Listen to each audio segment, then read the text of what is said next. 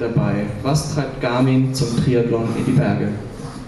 Ich denke, meine Vorredner, wie gerade der Jan Frodeno und auch die Frau Wisser, haben ja schon gesagt, was es für eine tolle Veranstaltung ist. Also der Alpentriathlon ist, glaube ich, jetzt dieses Jahr zum 23. Mal zur Austragung gekommen und äh, hat einfach ein Flair, eine Mystik, die, glaube ich, in der deutschen Triathlon-Szene nach äh, lange suchen muss.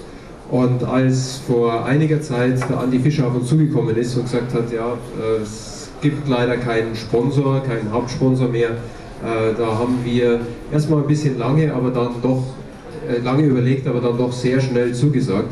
Denn dieser Dreikampf aus Schwimmen, Radeln, Laufen in der freien Natur passt ja eigentlich auch ganz gut zu unserer Produktpalette. Und dann noch die Kombination in den Bergen, den Alpentriathlon, da passt es noch besser zu uns.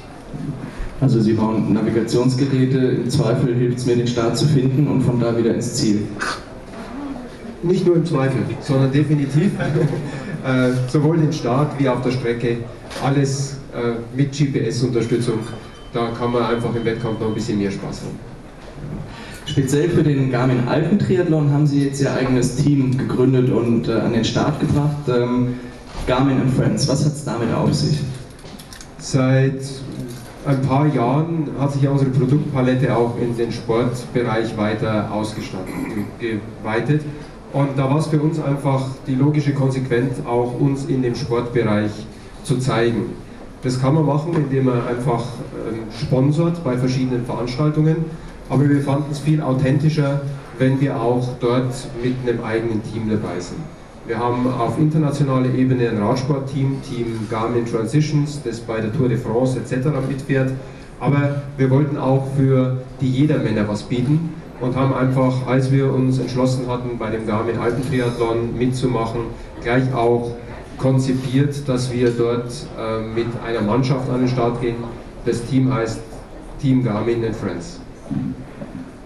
Sie selber sind am Samstag am Start?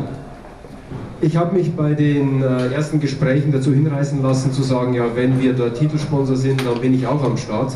Aus dieser Masche bin ich nicht mehr rausgekommen.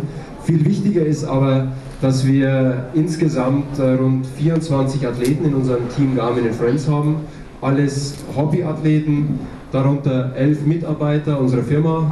Bei 92 Mitarbeitern insgesamt ist das eigentlich eine ganz nette Prozentzahl äh, weitere fünf Athleten, die wir über eine Verlosung zu einem Startplatz kommen haben lassen und die wir im Laufe der Saison vorbereitet haben mit verschiedenen Trainingstreffen und dann eben auch noch eine ganze Anzahl von Friends, die eben aus von befreundeten Unternehmen etc. Ja, viel Spaß am Samstag und viel Erfolg.